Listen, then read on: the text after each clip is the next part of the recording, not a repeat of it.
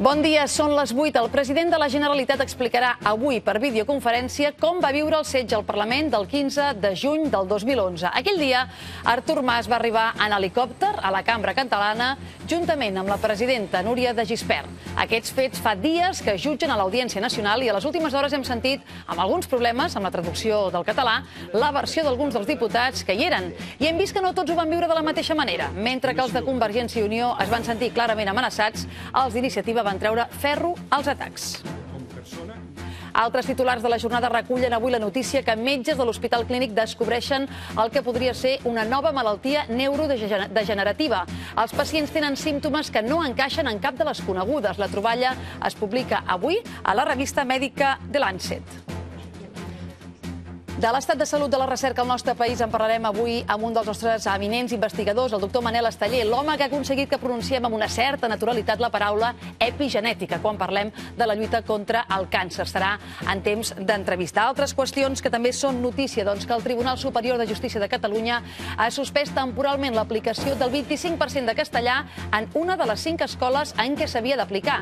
És la resposta a un recurs presentat per directors de les escoles i també associacions de pares i mares contra la sentència que els obligava a aquest percentatge. Aquesta matinada hi ha hagut un tiroteig en una base militar de Texas, als Estats Units. Hi ha quatre morts i 16 ferits i l'autor, que també ha mort, seria un soldat amb trastorns mentals i que havia estat destinat a l'Iraq.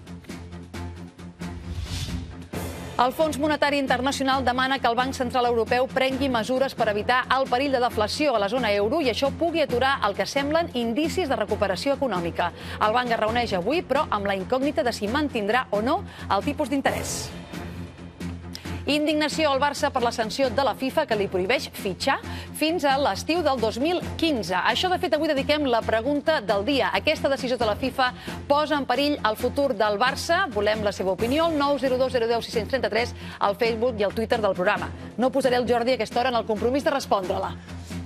Com vulguis, home. Sí? Si no pot fitxar, l'equip no serà tan potent com podria ser, però si hi ha unes normes també s'han de complir. Doncs en parlarem avui a la part final del programa bastament, no?, amb tertúlia Exactament, esportiva. en parlarem amb tertúlia esportiva, ara, ara ho expliquem. En tot cas, el Barça va mal a maró.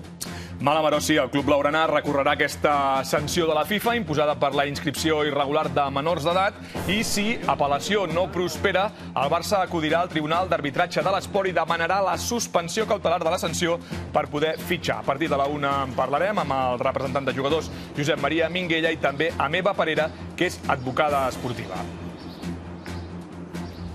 I el Real Madrid és a un pas de les semifinals de la Lliga de Campions després de guanyar el Borussia Dortmund per 3 a 0 amb marcar Bale, Isco i Cristiano Ronaldo. El portuguès no va acabar el partit per culpa d'unes molèsties a la cama dreta, però en principi estarà a punt per aquest cap de setmana.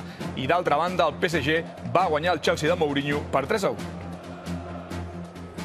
Si encara no han sortit de casa, dos advertiments. No es deixin el paraigua i tampoc se sorprenguin si quan van a buscar el cotxe que tenien aparcat al carrer, Gemma, bon dia, se'l troben brut de fang. Doncs sí. Perquè plou i plou brut. Exacte, tenim aquesta pols en suspensió del Sahara que porta aquesta pluja bruta que, com bé deia la Lídia, ara mateix està plovent amb més intensitat, sobretot cap a les comarques de la meitat oest. Ho veiem en la imatge del radar. Pluges que continuen des d'ahir a la tarda cap a les comarques de Lleida, Pirineu i Prepirineu i ara mateix també aquesta franja de pluges que veiem en el radar cap a les comarques de Tarragona de forma dispersa, almenys durant el matí cap a les comarques de Barcelona i Girona, però que també en aquestes comarques arribarà la pluja. Avui plourà a qualsevol punt. Anem a veure imatges en directe. Des de l'Ametlla de Mar veiem aquesta pluja, aquesta mala visibilitat, 14 graus, 90% d'humitat. A part de la pluja, també aquests vents del sud porten temperatures molt i molt suaus, no fa gens de fred, valors a la litoral entre aquests 12, 13, 14 graus en molts sectors, també la mateixa temperatura a platja d'Aro, amb un 90% d'humitat, amb molts núvols, mala visibilitat,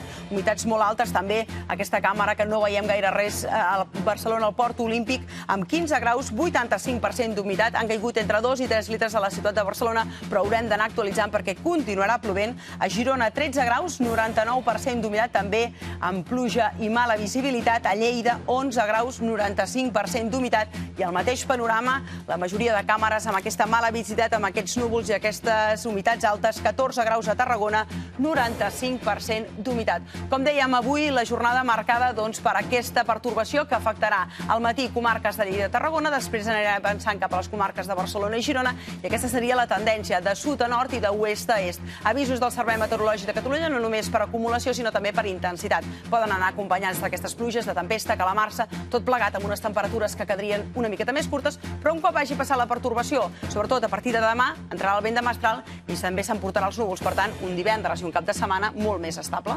Doncs, eh, Gemma, moltes gràcies.